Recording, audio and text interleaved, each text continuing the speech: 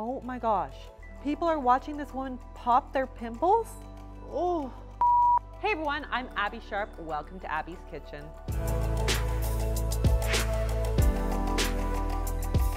Today's video is sponsored by Wooga, and I will be putting my dietitian hat on to look at the research on diet and acne. Because let's be real, the stress of this pandemic and the 24 7 mask situation has probably been pretty rough on our skin.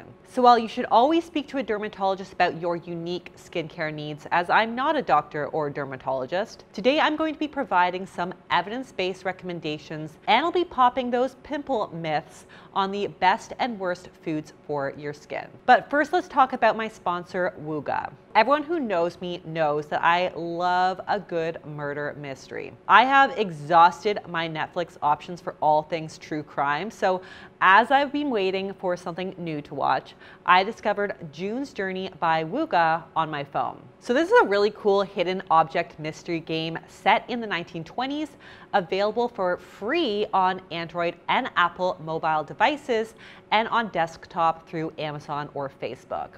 I heard about it through a friend, and apparently it has a really huge following with more than 30 million people playing this thing worldwide. I honestly was never really a gamer, but I actually really like this game because it requires some critical thinking skills. It has a solid storyline and beautiful, colorful graphics set in the glamorous 1920s. It's definitely been a really nice distraction from the stress of COVID and also a more active alternative to just watching TV. So if you need a little escape, check out the link in my description to download June's Journey on one of your devices for free today. But before we dive in, you can pause the screen or look at the description to check out my disclaimer. And of course, don't forget to subscribe to this channel and ring that little bell so that you never miss out on a video. All right, let's begin by breaking down the common causes of acne. So acne forms when our pores become clogged by dead skin cells, bacteria, or excess oil, often as a result of certain makeup products, genetics, medications, sun exposure, and of course, fluctuating hormones. Or, you know, when you wear a crappy cotton mask you bought on Etsy every single day for an entire year.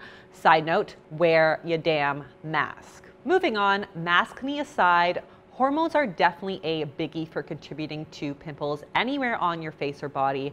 And it's definitely one factor that we can't so easily manipulate like we can our beauty regimen. Puberty, menstruation, pregnancy, menopause, and birth control can all cause changes in our hormones. So for example, low levels of estrogen and higher levels of testosterone can increase oil production, clog our pores, and ultimately lead to zits. This is why a lot of us break out during that time of the month and why 70% of women with acne present with high testosterone levels. So obviously we can't always do a whole lot about our hormones, but can we change the outcome for our skin with what we eat? Well, not surprisingly, research in this area is mixed and controversial since the look and feel of our skin, like everything else about our body, is somewhat genetically determined and highly individual. So I absolutely cannot make sweeping statements suggesting that you cut out specific foods or add other ones in, as there's no such thing as a universally understood anti-acne diet that will make you look like you face-tuned but in real life. However, the population research that we do have does draw some correlations and most of them are rooted in the typical Western diet. So what's going on with this whole Western diet that makes us break out like a prepubescent teen? Well, when people discuss the Western diet, they're talking in colloquial terms about a diet high in refined sugars and low in fiber rich fruits and vegetables. We know that consuming an excess of refined carbs without adequate protein or fat to help slow down its digestion and absorption can increase blood sugar levels and subsequently insulin. Insulin is related to a few other hormone shifts which also may play a role in acne production. So one is an increase in testosterone, which we established is a hormone that can increase oil secretion. This could help explain why acne is often a common side effect of hormonal conditions that are associated with excess testosterone and insulin resistance like PCOS. The other hormone linked to insulin levels is called insulin like growth factor, or IGF 1, which also can potentially rev up the oil factor as well. So, what do we do about these greasy ass hormones? Well, let's talk about some super general diet recommendations that may help some people manage their breakouts. And notice that I say some people here, because again, this is not a one size fits all prescription. So it could take a little bit of experimentation.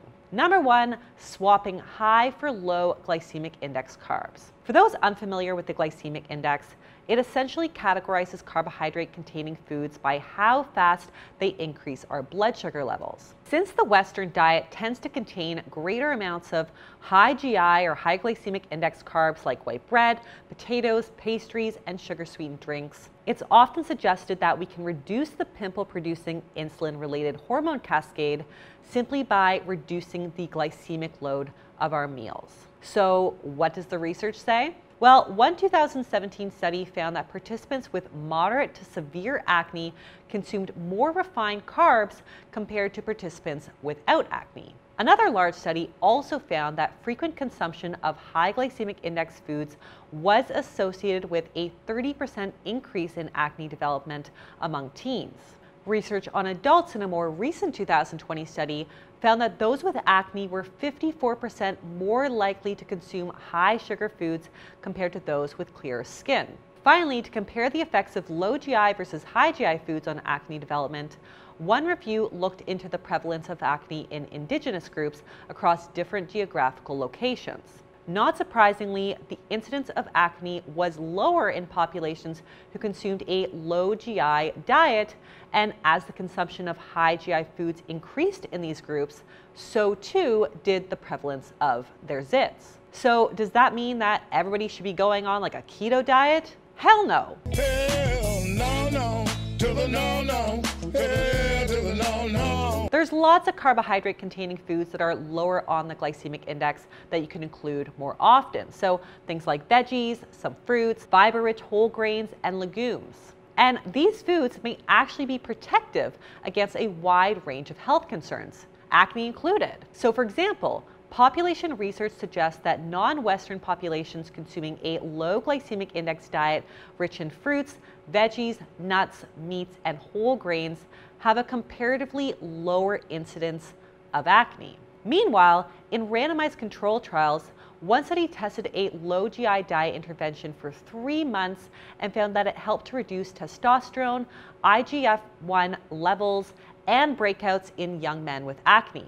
Similarly, another small trial found that following a low GI diet for two and a half months also resulted in acne improvements. So to recap, when we eat an excess of high glycemic index foods, our blood sugar levels go up, which stimulates the release of insulin, which increases the level of IGF-1 and testosterone, which revs up that oil production, which in turn can clog our pores and cause acne. Now, all of this information is again not to encourage you to cut out all the high glycemic index foods in your diet, but it comes down to trying to limit consuming a lot of naked carbs. That is, we want to consume the majority of our carbs with a source of protein or fat to help slow down the blood sugar and consequently the insulin response. So this could mean pairing a high glycemic index food like jasmine rice with things like chickpeas, cashews, and veggies for some protein, fiber, and fat. Or you could smear that white bread with some avocado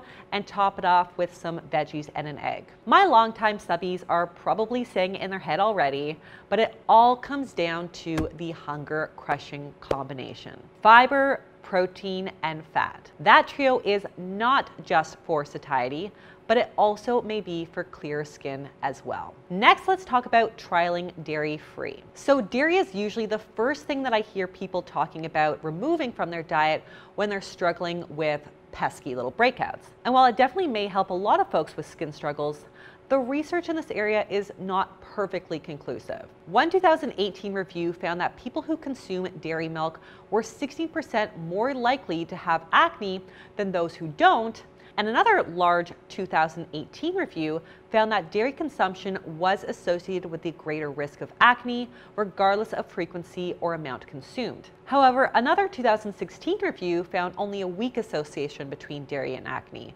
So it's likely that there's something there, but it's not 100% clear and it may not ring true for everyone. While dairy is low on the glycemic index, one theory for its role in breakouts is that it may stimulate the production of IGF-1 in the blood, which again we established may kind of boost that oil production. We don't know for sure why this is, but there are some theories that it may be related to natural or artificial growth hormones, lactose sensitivity, or milk proteins like casein and whey.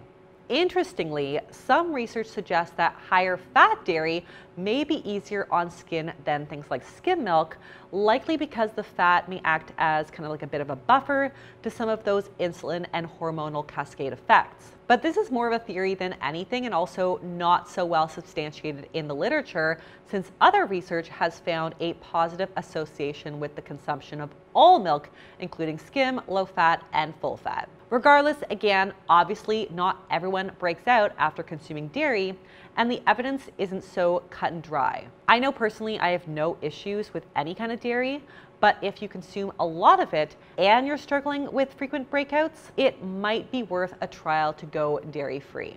Thankfully, there's a ton of great dairy-free alternatives on the market today.